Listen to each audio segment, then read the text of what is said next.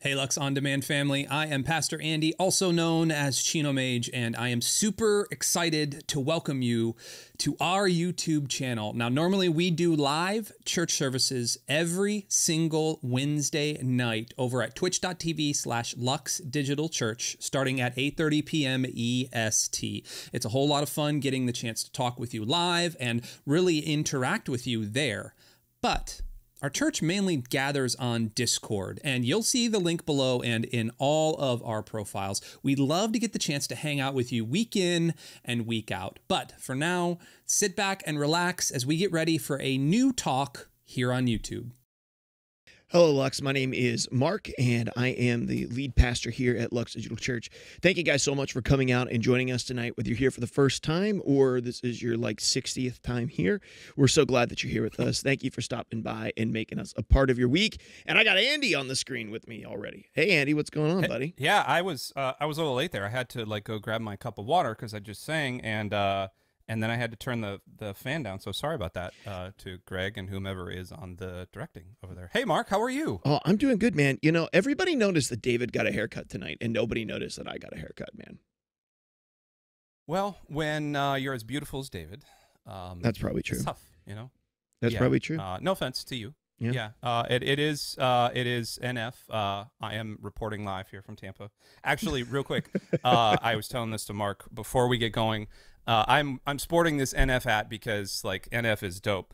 Uh, and if you don't know his music, please go listen to him and support him. He's a Detroit guy. Detroit 810, 813, 313, all the things. Um, but my, I took my daughter to see him. It was our Christmas or her Christmas present. Uh, and she chose me. Actually, we got her two tickets, but uh, she chose me to go instead of her boyfriend. So I thought that was really cool.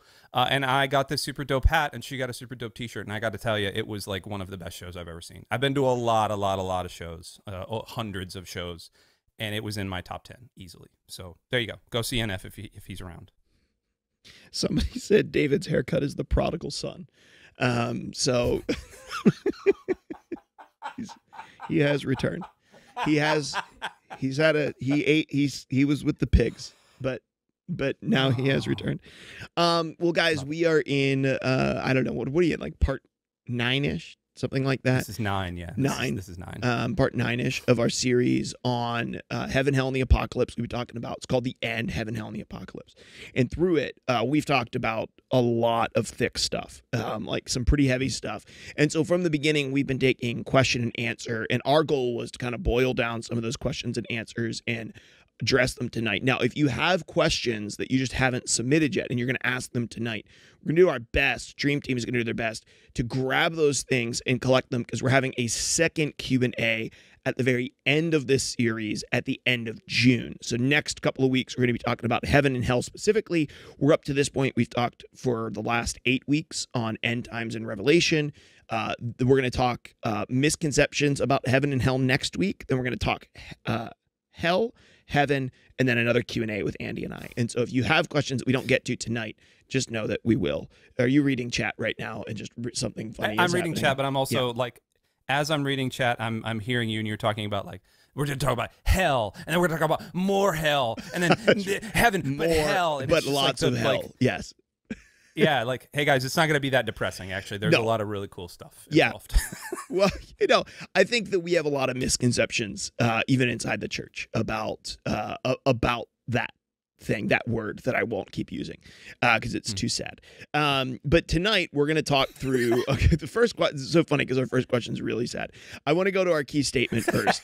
um, our our key statement for this series is our view of the future. Um, our view of our future shapes our actions in the present. Our view of the future shapes our actions in the present. This is why we're looking at it. I have never done a thorough study of Revelation. I've learned so much uh, throughout this series for that reason. Hold up. Kem, Kem says Ezekiel and the Pit movie title. Uh, new movie title, Ooh. maybe. Um, I have a learned. metal band. Yeah, it sounds like a metal band. I've learned a lot about Revelation and what I believe through this series, like through studying it, and it has had a pretty dramatic impact on uh, my view of Revelation. It's it's been really helpful for me. I don't, Andy, has it been has it been similar for you? Maybe you've already deeply studied Revelation in the past, and I'm just a bad pastor who hadn't. But No, I took I t- you you're you're a great pastor. Hey man, don't don't get down on yourself. Bad you're a great pastor. Everybody fives in chat for Mark as pastor. No, we're not Um, doing that. but the or fours if you think he's a bad pastor. Four- Um, fours. But I Just yeah, see just exactly. four fingered clap. the, the the thumb yeah, the thumb no doesn't make a whole lot of noise. Makes no real noise. yeah. Um, I took a I took a course in Bible college, an entire semester on Revelation, and I still didn't understand it.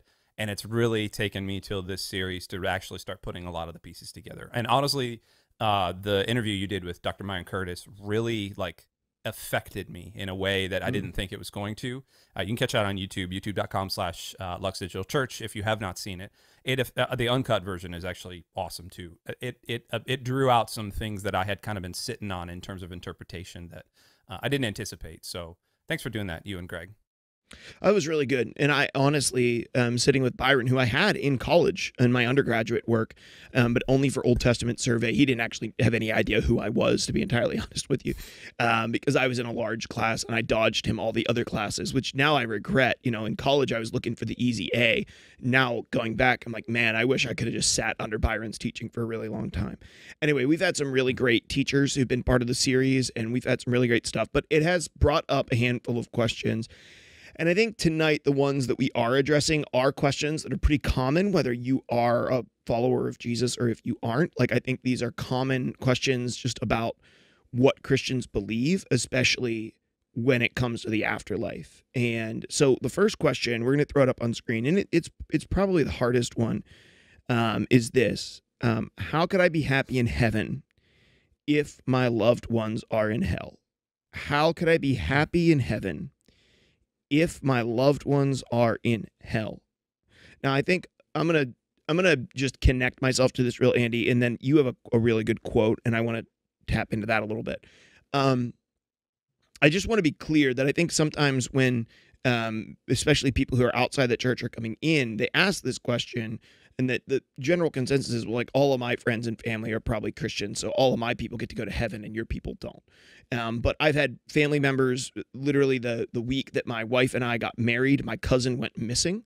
Um, we got married in August, and we found him um, in his Jeep um, in the woods uh, in October. Um, and my cousin was not a believer. Um, my cousin didn't have any sort of faith upbringing or any sort of faith. I, I'm always quick to say I'm not the judge of the living and the dead. You know, I think a lot of people want a declarative statement about whether or not someone's in heaven or hell, and I always like I'm never the person in the in the church who's like, man, that person's in hell, um, because I don't ever want that to be anybody's thing. Like if if Jesus so decided he was going to save everybody, I'm like, yeah, I'm in for that. Um, and so like I don't I don't I don't desire any any ill fate for any person ever. Uh, especially not for the people that I'm that I'm close to and that I love. So it is a really hard subject, um, especially if the people who have passed around you are close. You know, they're brothers or sisters or really close friends or really relatives, parents, something like that. And I think that it's a really valid question. I think a lot of people feel like I would never be able to be happy if if heaven is supposed to be perfection. I would never be able to be happy there if this Mhm. person wasn't there, which I think is understandable. Yeah, I it's understandable and also um I think there's a so when this question came in and we started looking at this question last week, um it's a real and I'm going to say self-centered and I don't mean self-centered in like an egotistical look at look at how I am but but it's a it is a it is a very self-centric way of looking at what heaven and hell is and that actually comes from this quote uh, that I want to read. It's by it's written or it's from this guy Randy Alcorn. Now, if you don't know Randy Alcorn, um, he's a Christian writer that's been around for like I feel like a thousand years. Although I saw an interview with him and he's probably only fifty five, uh, but he's written a ton of books and he literally wrote a book on heaven. That's like one of the his his most famous works is this book on heaven. And so you'd think like, okay, cool, like he's gonna have all these answers and stuff. And so I started kind of researching some of the stuff, and he he wrote this, and, I, and I'm going to read this. And, and again, these are not the words of Mark and I. Uh, and so I, I need you to hear that first. And this is going to sound really harsh at first, but just go with us here for a second. So Randy Randy writes this. He says, uh, Randy Alcorn, by the way, not like what St. Bear calls me Randy sometimes. This is Randy Alcorn. Uh, he he writes, although it will inevitably sound harsh, I offer this thought. In a sense, none of our loved ones will be in hell, only some whom we once loved. Let me read that again. Although it will inevitably sound harsh, I offer this thought. In a sense, none of our loved ones will be in hell, only some whom we once loved. And so I read that and I was a little intrigued. So I kept going. The quote continues. He says, Our love for our companions in heaven will be directly linked to God, the central object of our love. We will see him in them. We will not love those in hell because when we see Jesus as he is, we will love only, and we will only want to love whoever and whatever pleases and glorifies and reflects him, being Jesus. What we loved in those who died without Christ was God's beauty we once saw in them. When God forever withdraws from them, I think they'll no longer bear his image and no longer reflect his beauty. Although they will be the same people, without God, they'll be stripped of all the qualities we loved. Therefore, paradoxically, in a sense, they will not be the people that we loved. I cannot prove biblically what I've just stated, but I think it rings true, even though the thought is horrifying. So that those are the words from him. Now, mm-hmm. this is actually going to tap into something we're going to be talking about when we actually start diving into what heaven and hell actually are. Uh, and so this is kind of a little teaser out there, but it seems super harsh, right? Like I'm not on the surface. It seems like I'm not just gonna. I'm gonna. Uh, when I go to heaven, I'm just not gonna care about those people. Yeah, I'm gonna. I'm gonna cease but, to love the people whom I loved on earth. Yeah. Yeah, but it's but it's it's deeper than that because there's that image of God thing. And so in just a brief kind of synopsis of hell, there's a whole different there's there's a million different ways of looking at it and we're going to we're going to travel down that path to look at some of them, but but at its core, hell is the absence of God. It's the absence of God's presence in and through everything. Now, whether that's lakes of fire or annihilation or whatever, we're going to get into all that. But at its core, it is a lack of God's presence. And when you look at the very beginning of the Bible, Genesis 1, Genesis 2, Genesis 3, from God's creation all the way to the zoom in, in in Genesis 2 of God kind of creating Adam and Eve and then and then Genesis 3 with the fall. You see something happening. You see God creating dust and birds and trees and stars and moon and microbes and all the things. He created everything, right? And then he creates humanity. He creates Adam and then he creates Eve. And it, it says he literally breathes his his his pneuma, his his breath into the lungs of man, of mankind and and we call that the image of God. That's that's what we know as the image of God.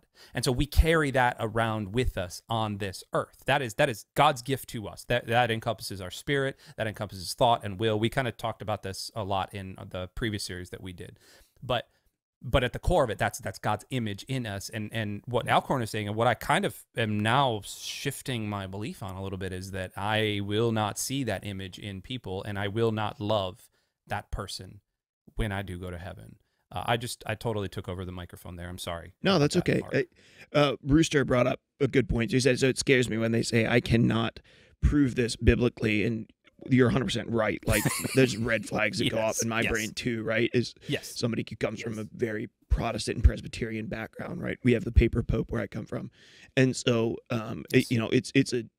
That being said, I've read a lot of Randy Alcorn's works, and explicitly trust his theology in terms of a lot of the yeah. things that he believes and that he teaches. So I, it, Randy himself is really solid. And I think really what he's saying here is, and, and what's really interesting is I was researching this question, what you said there, Andy, that hell is a representation of the absence of God. Um, I, I read something that was very intriguing to me because I've always said it that way too. And I, I actually don't think that's what we mean. And, and they said this um, that hell is not the absence of God; it is the absence of all good things of God. Right? Not that there, not that all of God isn't good, but all of the blessing. Right? It is the presence of wrath and judgment, and the, that is the hmm. presence of wrath and judgment of God. And so, all of the things that are of the people whom we loved, the things that we loved about them were the things that were the imprint, the the fingerprint of God's heart, his life in them. Now, the other thing that I want to say, and this is just a terribly practical reality when it comes to answering this question, is you don't get to be with them either way, Yeah. right? Like there isn't like um well there's a party in heaven but there's a party in hell. And most of my buddies are in hell. So I'm going to go party with them down there even if it's hot.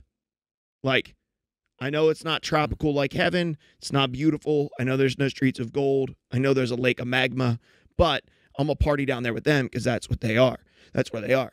Hell is is very clearly described, I think, as a place of loneliness, um, a place of abandonment. It's a, it's it's a place of separate. I think that for me, the the closest description of it that I've seen, and we'll get into this in in probably future weeks, uh, is actually I think it's in Blue Like Jazz. It's either that or it's in Through Painted Deserts. And Donald Miller describes um, the the the loneliness, the desperation of being an astronaut who has a system hooked up to them that perpetually keeps them alive, but is lost Mm. in a consistent and nonstop orbit around Earth.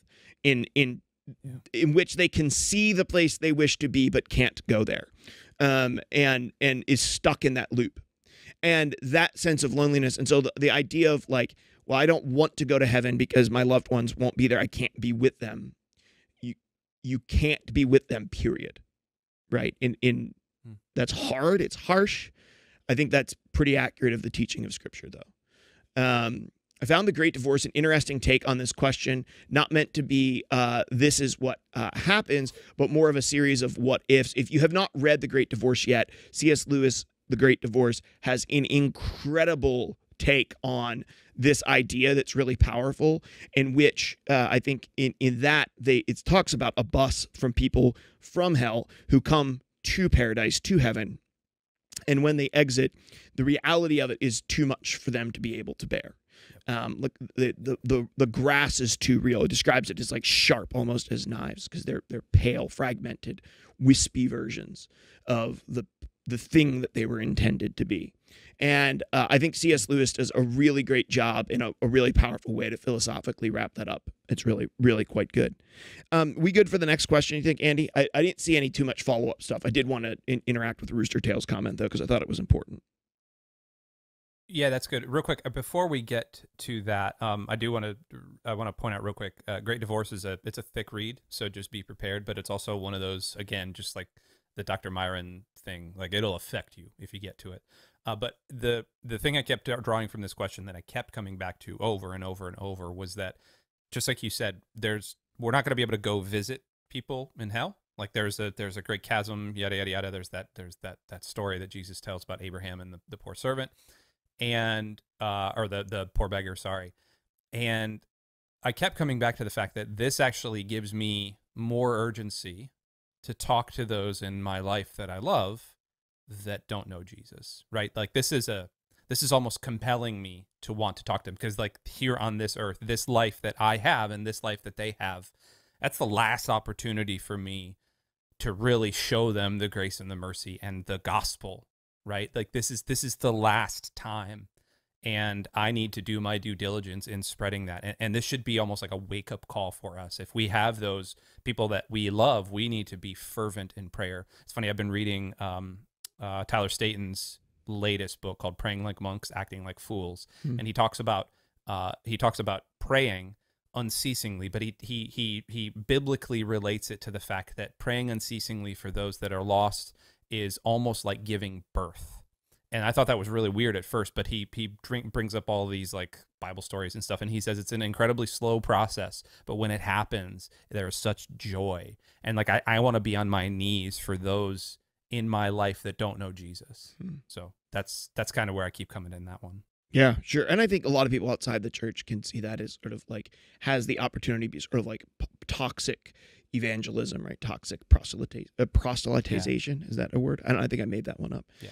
Um, but we, we you get the idea, right? And and that's not really what we're talking about here. We're talking about like a, a Nope. genuine heartache, love, concern, and passion. I think that the reality of hell um, is so central and important. We talked about this uh, whenever we talked through some of the stuff from York Moore's book. Um, that um, that a Jesus without the reality of hell is a really sort of um, pasteurized version of the gospel. Hmm. that doesn't really have, not only doesn't have punch, but also doesn't touch reality very well. Um, and that doesn't mean that you know everything that you do if you're not shoving Jesus down people's throats that you're being unfaithful. But it does mean that we should be compelled to love people enough that we live in such a way that the gospel is um, convincing, compelling to them, right? Interesting to them. Yeah. So the next question that we had was a, was a very good one as well. We have a couple of scriptures for this one that we're going to touch on. It says, "Why does Jesus tell us to watch for the signs of the end of the age if we are to prepare and not to predict?" So there's a couple of scriptures I'm going to bring up on screen that um, I think were important for this because it's in Mark and in Matthew. It says this it says Jesus talking, but about that day or hour no one knows, not even the angels in heaven, nor the Son, but only the Father. Be on guard, be alert. You do not know when the time will come. The next one is from Matthew 24, 42 through 44, and we read this. Therefore, keep watch, because you do not know what day or hour the Lord your Lord will come. But understand this if the owner of the house had known at what time of night the thief is coming, he would have kept watch and would not have let his home be broken into. So you also must be ready because of the Son of Man will come at an hour when you do not expect him. And at the very beginning of this series, we read this passage from Matthew 24. And the main point that I've made and that we've made throughout is that um, Jesus calls us to prepare, not to predict. We're not to predict his return. He says he doesn't know and we won't know, um, but we are to be prepared. And he says it again. But that is that is strange when Jesus also tells us, like, hey, pay attention to the signs, look about you, pay attention to what's going on in the world around you. Um, because the end is near, like it's coming, and it's it's going to be swift, and it's going to be unexpected, and so, you know, that leaves us in a bit of a conundrum. Like, are we are we supposed to, or are we not supposed to? And you know, the research that I've done in this passage and a lot of the stuff that I have I have looked at personally, uh, that I have found to be rather convincing. Anyway, has been that this passage, and especially this teaching from Jesus and other passages similar to it, are not compelling us to to predict it's not telling us to look at the signs and read the signs and what's going on in our world so that we can say, oh, there's, oh, that's the beast of the earth. Oh, there's the Antichrist. Oh, there's the number 666. Oh, there's the, you know, the universal financial system. Like, oh, oh, that's, that's, it's globally, we're not looking for sort of the devil under every world event, right? But instead, hmm. that we as followers of Jesus live with a sense of eternity in mind I think a lot of times as Jesus followers, we live with a lack of urgency in our life and we all I do and we live like the things that we're seeing and experiencing are the only things that we might see and experience. And so hmm. therefore we very rarely are compelled then to share the gospel. And I think you know if you look at if you look at like trends across specifically my country, the United States, you see an uptick in interest in spirituality, a downtick in church attendance, an uptick in belief in Jesus in general, and a downtick in belief in hell. And then with that, you also see a growing number of mature, Bible reading, Jesus professing followers of Jesus in my generation and lower who statistically are convinced that it is wrong or even evil to share your faith with other people. And I think sometimes that is because we have bought into a cultural norm, right? Because sharing our faith breaks a great deal of social norms and does make people feel uncomfortable. And the way in which we do that does dramatically matter. I don't think anybody would argue that the way to share your faith is not with a bullhorn outside of an abortion clinic. I don't think anybody's arguing that that's the way that you should go about it. That being said, also, when we are stepping into Holy Spirit inspired opportunities to step into spiritual conversations with people that we love, we should not shy away from those things. And I think we do that often because we tend to not live with an eternal mindset. And I think that's what Jesus is getting at here. Live with the knowledge that I'm returning. Live with the knowledge that this world is not all that there is. Live always with an eternal mindset. And you will quickly realize that your awkward conversation, or maybe you're stumbling over words, or maybe your incapability to answer exactly the way you wish you could, is not. Those things are not nearly as important as the eternal ramifications of somebody coming to faith in Jesus and the Holy Spirit working powerfully. You're not saving anybody anyway. You're just the conduit through which the Spirit works. The Spirit calls people to God, the Spirit calls people to faith, the Spirit calls people to confession. It's not us, it's just through us that God has chosen to partner in His kingdom work. And His kingdom work also involves people who are not following Jesus, who decide that they want to be. We are just pieces in that puzzle. We aren't the beginning and the end of it. And so I think I think for me, these passages specifically, both in Mark 13 and Matthew 24, speak a great deal to mindset shift in us as Jesus followers to live constantly with an eternal mindset. You have any, uh, Druzy, I'm, or Druzy, Yeah, geez, you're not Druzy. I, I should not get the names of my staff mixed up, man. It's embarrassing. I can be if you want. Uh, No. he's uh, he's way more energetic than I am. He's like in chat right now. No, Andy, how about you? Well, do you have a? I know you had a couple thoughts on this. Yeah, uh, real quick, I, I thought uh, it was interesting. Rooster has been balling out in the chat, uh, and they said it's so tough since they've been saying "quote unquote" soon for two thousand years. yeah, I mean that's that. you are you are absolutely hitting on the thing that I think this question also came from. Dusty Disciple also Well- chimed in and said, uh, "Where was the question?" That kind of goes with my question: Are we living in the end times with all protests mentioning of World War III and all bad storms and everything? I mean, yes, uh, but here's the thing: the the idea. Druzy's such a cheery guy. Yes, Hold, I'm gonna, now I'm gonna. and not yet is exactly it. if you did not watch the full video of the my interview with Byron, one of the things that he pointed out, which was really interesting, is the Greek word for soon can also be translated suddenly, which is. Dang it, dude! I was going. Oh, there. were you going You there? And stole I came in and oh my Ah, bad. I'm so sorry. It's okay. It's really good though. It's okay. It's really good. Okay, No, no, no. Go, go for it. No, it's that's the only thing so, that I had hey, to say. uh, I had nothing you- else to say. if you didn't if you didn't watch the video with, with, with Byron, uh, the Greek word for whatever you you heard it there, and and that right there is is incredibly interesting to me because Jesus also tells this parable in Luke twenty one.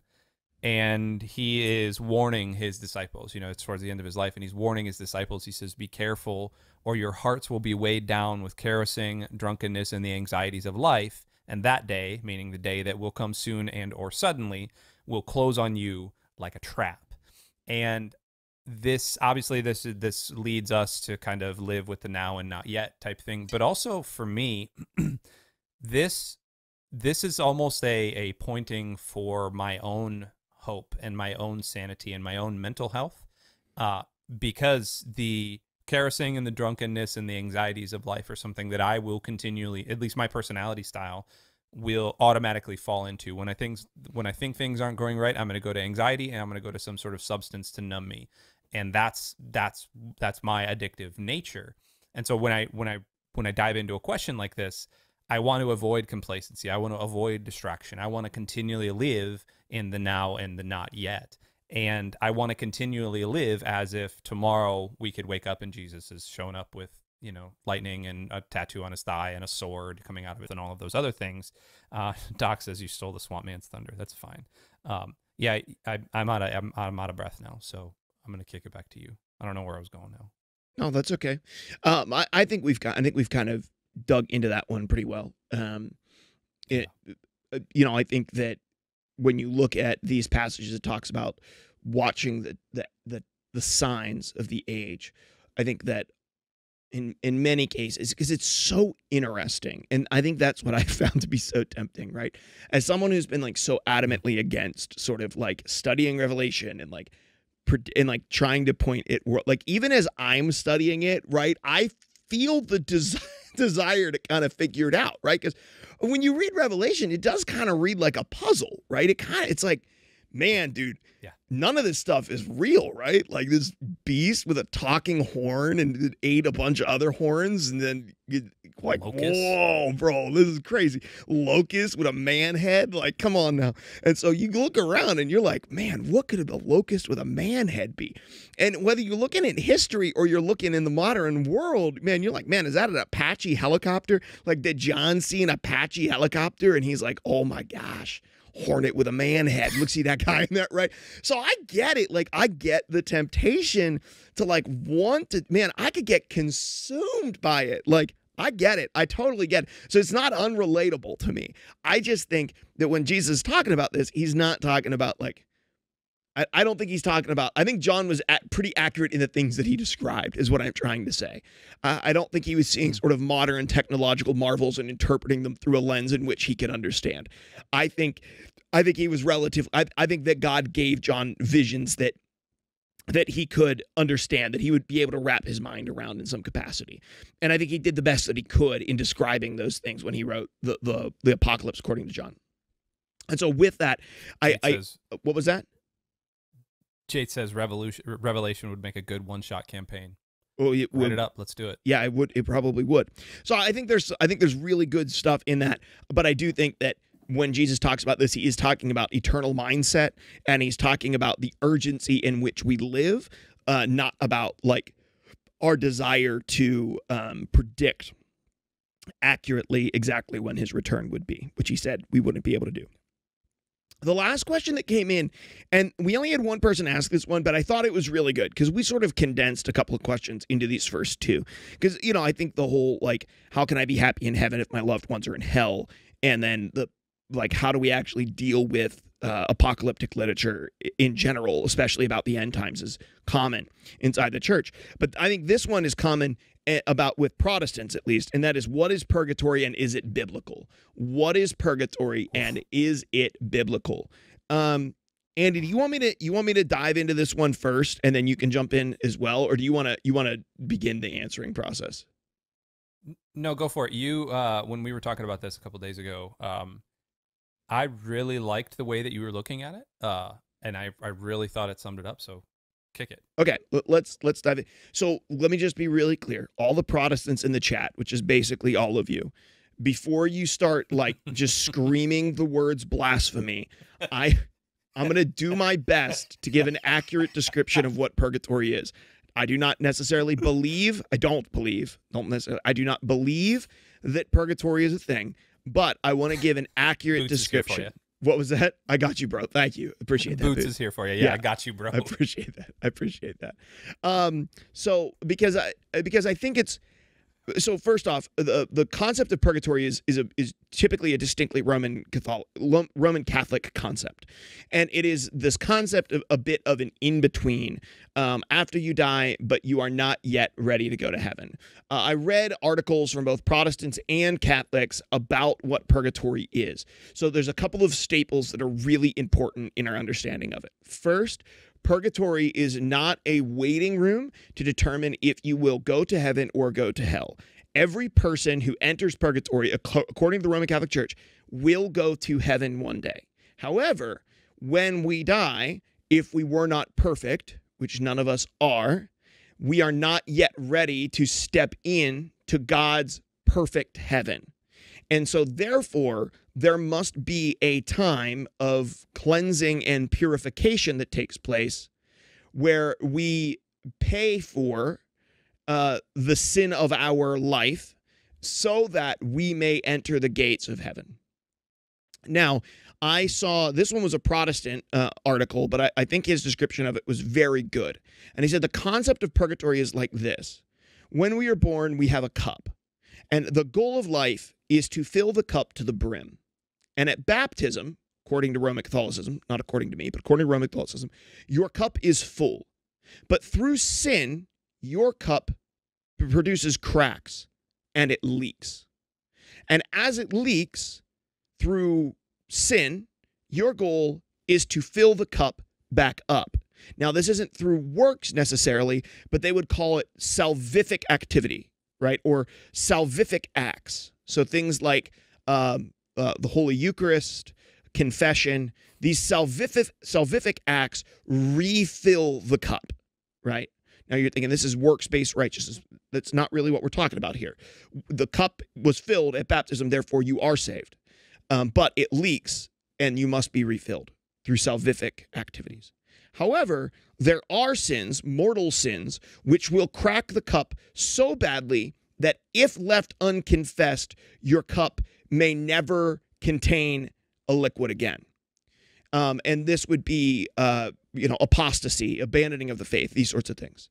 And so if you're if you die in a state where your cup is empty, you are then bound for hell because you have unconfessed mortal sin in your life.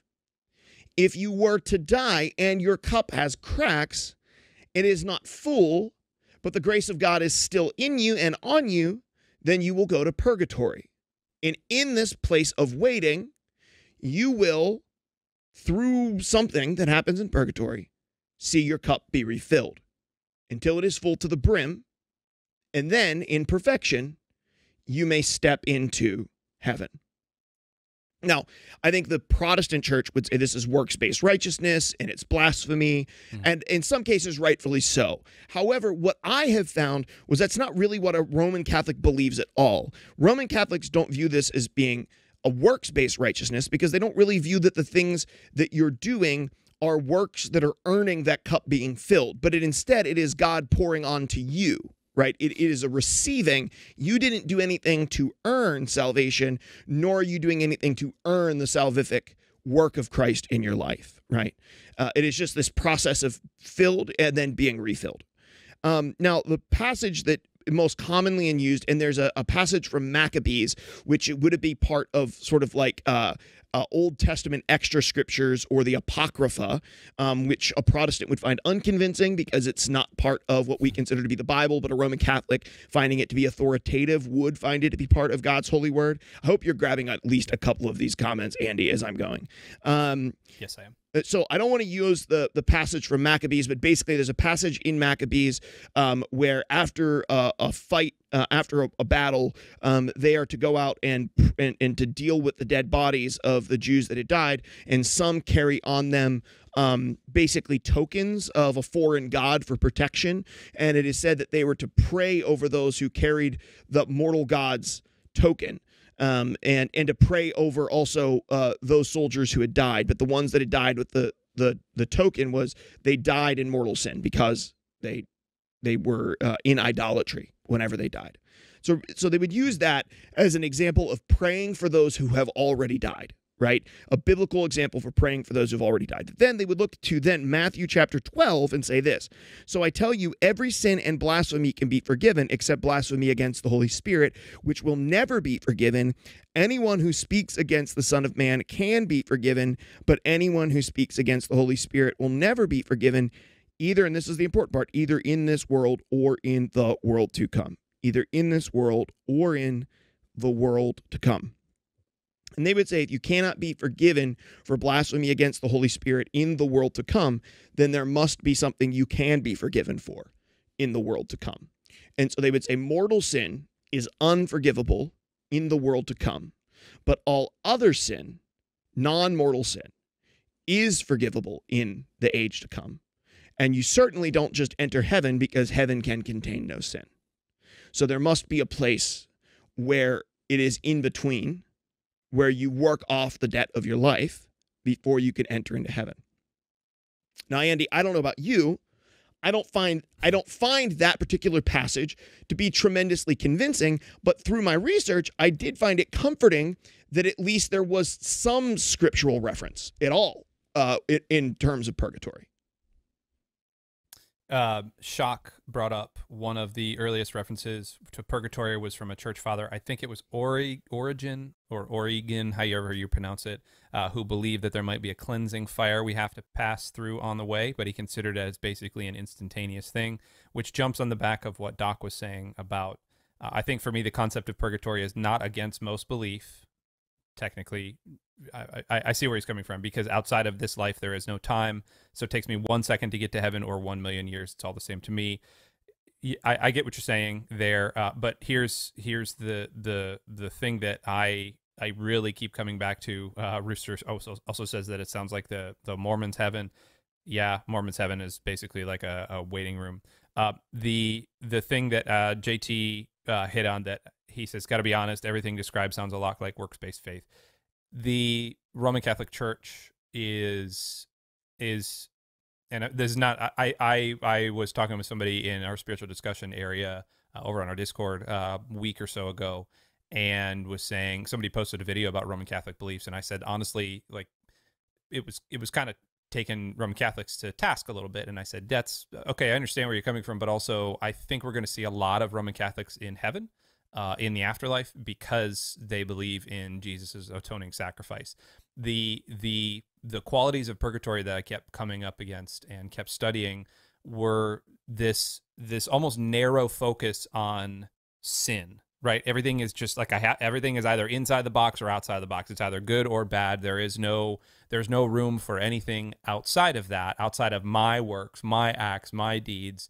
And you know there are actually a lot of protestant belief systems protestant traditions that would say that would err on a little bit more of the works based faith side I personally look at look at scripture and I don't necessarily see that. I see a tension always happening. There's always a faith and there's always a works and we if we err on one side then we're losing on the other side and all that other stuff.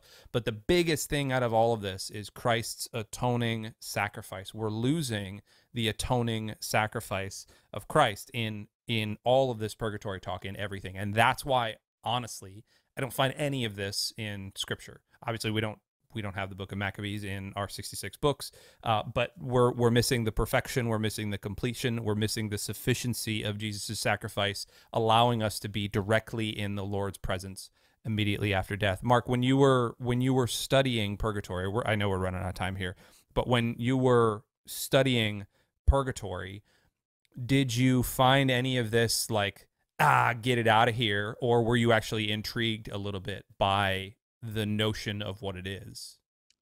Yeah, so I mean, I I didn't come to the end of the day and find it convincing, but I also I also could see why it has some biblical stuff there, right? Why there's some backing to it. Um, and it, it's a very interesting and different take than what I have been taught, and what I find I, I find it to be against the overarching cry of the New Testament specifically. Um, and to be honest, I'm not Roman Catholic, and so there's a there's a hang up there. Equilibrium. I am seeing your questions in there, and I do want to address it. Um, yep. uh, so um, I, am not a Roman Catholic, so I, I, grew up very much so with a scripture being the highest authority in my life. Um, but if you grew up Roman Catholic, you didn't grow up with that same interpretation or understanding. Um, so a great amount of the concept of purgatory lives outside the Bible, inside of church history, which is very interesting to me. I think that church history is riddled with error, obviously. Um, but uh, in the Roman Catholic faith, they say that church history, and specifically the voice of the Pope on the papal seat, um, has equal authority to that of Scripture. And I always thought that that was just obviously ridiculous blasphemy. Um, but what I have found is that they actually have a pretty justifiable reason for believing that, in which you see hmm. their justification for the Pope is when Jesus tells Peter that I'm handing you the keys to the kingdom. Whatever you loose on earth will be loosed in heaven. Whatever you bind on earth will be bound in heaven. And that that lineage, hmm. that that that authority of heaven and earth, is passed from one leader of the church to the next. So their first pope is Peter and that that authority was given to Peter prior to the creation of the scriptures. And in fact, the New Testament was canonized by the church. And so the church had hundreds of years of church history that predates that. Uh, predates the canonization of Scripture. So they would say that, this, that the active seat of the leader of the church, the Pope, the head of the church, um, has authority equal to that of the Holy Scriptures or greater than that of the Holy Scriptures, for it was the church itself that canonized the Scriptures and gave them authority in the first place. Now, I, I would argue against that. I would argue that the Holy Spirit inspired the writers of the, the Old and New Testament. I would argue that um, that the Scriptures stand alone above everything else as the most authoritative thing. I would argue that man is susceptible and is in sin um, from the Pope to anybody on the planet, right? I would argue all of those points staunchly. I would stand up for them. But this study of purgatory and my study of the Roman Catholic Church and church history has given me a much richer and fuller understanding of why the church has believed what it has throughout the years and has instead of leaving me in a position where I just sort of like, you know, heck, throw up the two middle fingers and say, yins are going to hell. Um, and uh, y'all are blaspheming. Um, I, I have found um, I have found their arguments not convincing, but more convincing, at least intellectually sound, right?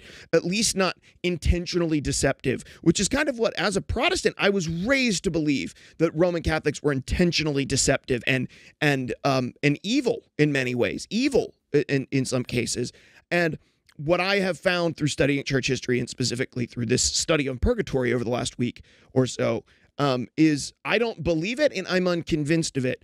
Um, but I but I have found it to be less sinister and more honest than I thought that it was.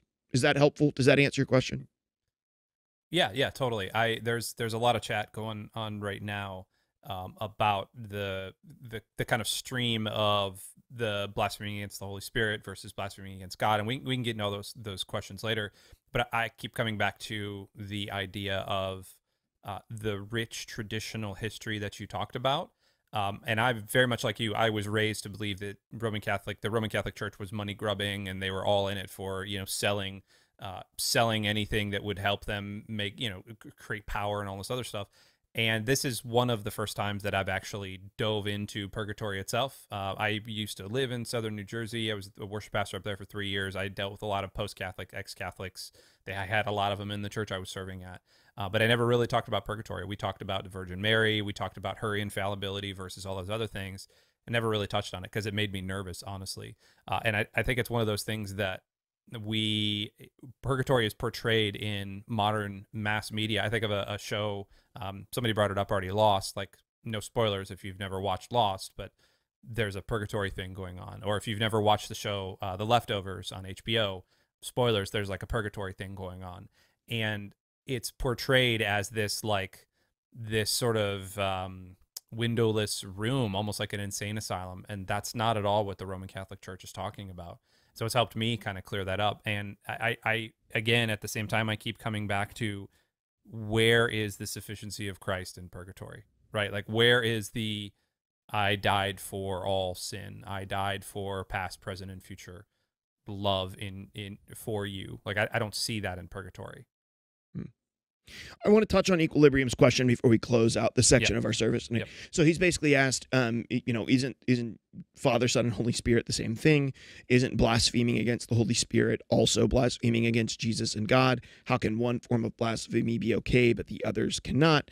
And um, so I, I think that more importantly, in this particular passage, in what we're looking at, is um, what is meant by blaspheming blaspheming the Holy Spirit. what is meant by blaspheming the Holy Spirit. And I think maybe the most helpful description that I have found um, is that the the the sin that is unforgivable ultimately, that is echoed throughout all of Scripture, is the denial of Christ as a whole, right? And to blaspheme against the Holy Spirit is to not just say, I don't think that was the Holy Spirit. I think this is the. I, am not sure. I, I think that that's Satan, or maybe I think in my my understanding of this particular passage and what Jesus is getting at in it is that the only sin that's unforgiven, unforgivable, is the sin of of denying, declining Christ, of of blaspheming the Holy Spirit through turning away the Holy Spirit's work in your life. Um, now, in terms of is blasphemy against the Holy Spirit also blasphemy against Jesus? Uh, and you're saying the Trinity says it's three and one. Um, the Trinity is an incredibly deep and complex subject that we probably can't tap into all of in this particular segment. Um, I think that some of the descriptions that we're seeing that are coming out in chat are good, though heady, guys. They're a little bit heady. Um, and sometimes just tossing out sort of like theological and seminary terms is not always uh, the easiest way to get our minds wrapped around something. And so, um, for the easiest way for me to put it is in some ways, yes, blaspheming the Holy Spirit is also to blaspheme Christ and God Himself. Um, and in some ways, no, to blaspheme the Holy Spirit is to blaspheme the Holy Spirit. Um, and uh, and that is because God is three and God is one. and uh, it is a subject that, and it is a concept that is intentionally not very conceivable by us. And it doesn't really matter what words we wrap around it. There have been, um, like I see the one for the modalism form, right? That God is has three distinct independent forms, but He is one. And I think that if you're in the right theological room, they would argue that that claim that God is three individual forms would be blasphemy, depending on what room that you're in. Um, and church splits have gone over uh, trying to figure out exactly what it means to be the Trinity, um, which to me is a silly thing to split over when we can't comprehend it fully. Um, and so my answer to your question is a is a is a cheap one, but I think it's the best one I have to offer. And it, the, the answer that I have is yes and no. The answer that I have is yes and no. Um, man, the, the chat has just been going off. Everyone's got a paragraph tonight. I can't even read them. Yeah, yeah, it's good. Andy, uh, I tell you what, you're going to lead us in worship here in a moment, but would you close us in prayer first? Yeah, absolutely. Um, the as we are praying, uh, thanks everybody for kind of joining in. We're going to be doing another Q and A session uh, next month. I'm sure we're going to talk about that a lot leading up. Uh, a lot of these questions, make sure that you're saving these up after we talk about heaven and hell and kind of the whole thing.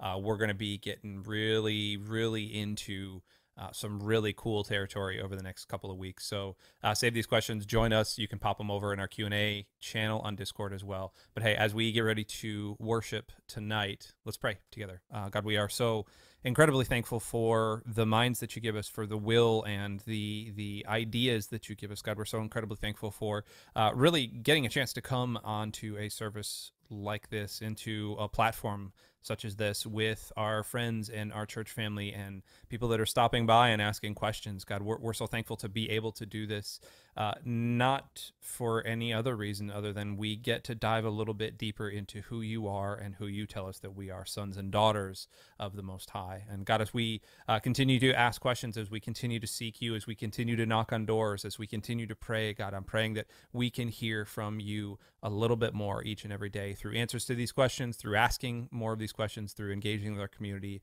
and on and on and on. God, we love you so, so much. It's in Jesus' name we pray, and all of God's people say, Amen.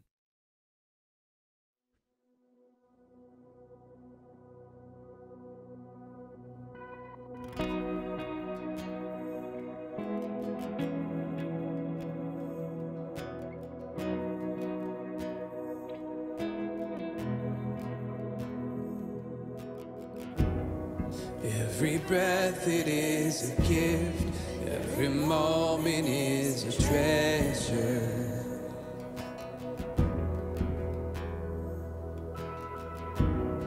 All my past and my regrets, my present and my future.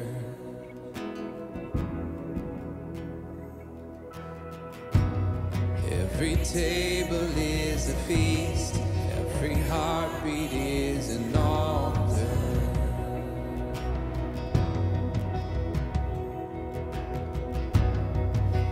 Every step a mystery. I'm walking with the author.